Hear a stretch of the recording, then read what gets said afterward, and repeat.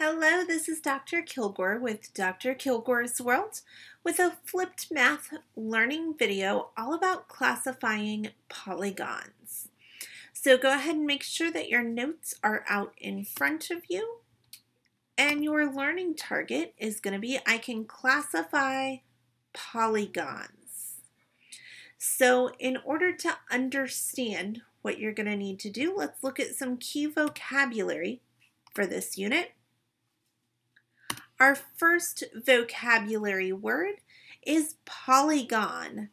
A polygon is a closed plane figure made up of line segments. We also have a regular polygon, which is a polygon that has sides of equal lengths and angles of equal measures go ahead and pause the video right now and write down these two definitions and then come back and I'll give you some examples of polygons. Okay, so let's look at examples of polygons. Go ahead and create a little table in your notes and jot down these examples.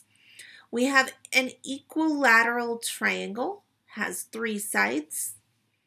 A square or rectangle would have four sides. A pentagon would have five sides. Hexagon has six sides. Heptagon has seven sides. Octagon has eight sides. We have nonagons that have nine sides decagons that have 10.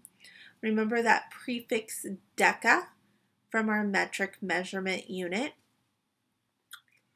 And then undecagon that has 11 sides.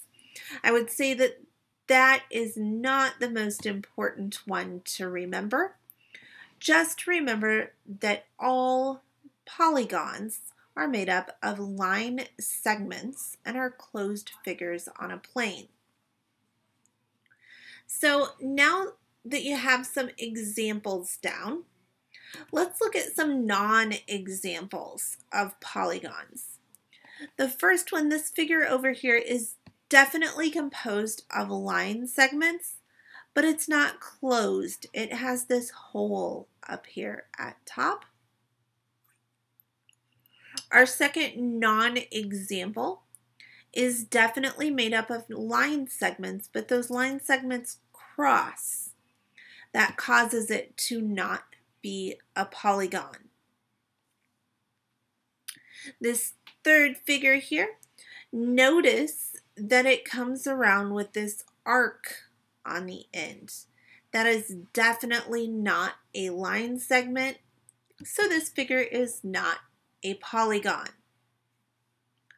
When you look at the plane right here, this figure is made up of line segments, but it is not entirely on the plane. That would mean it is not a polygon. So this has been a quick video to teach you the definitions of polygons and some examples and non-examples.